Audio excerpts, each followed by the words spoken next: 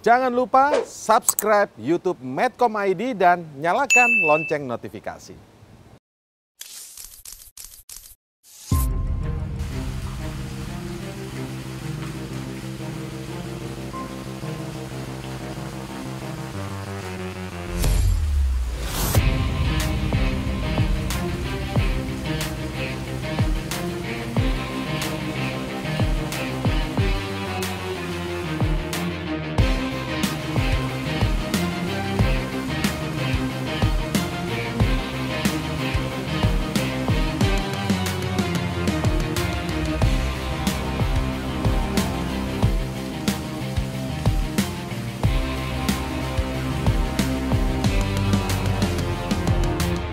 Kominfo telah meminta Kemenkes untuk mengambil langkah-langkah yang diperlukan secara internal menyelidiki kenapa data tersebut bocor. Kominfo sudah berkoordinasi dengan uh, Kemenkes.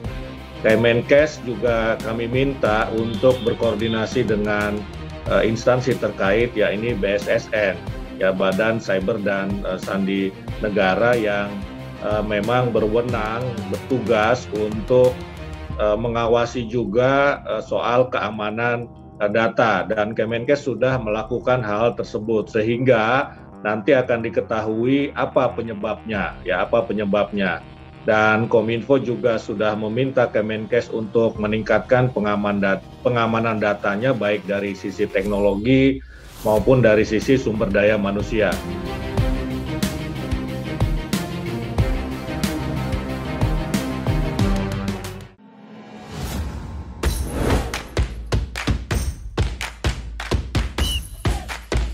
Ayam kalau diaduk-aduk jadi cair.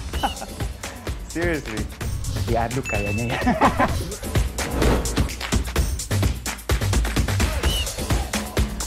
oh, perlu luar negeri gimana ya? Ini demi kemajuan bangsa Indonesia.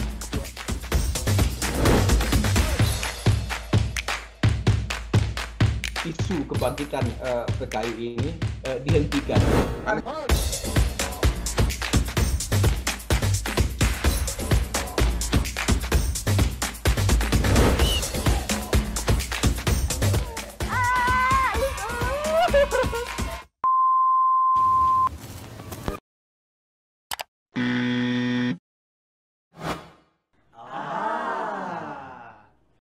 Medcom.id, a part of Media Group News.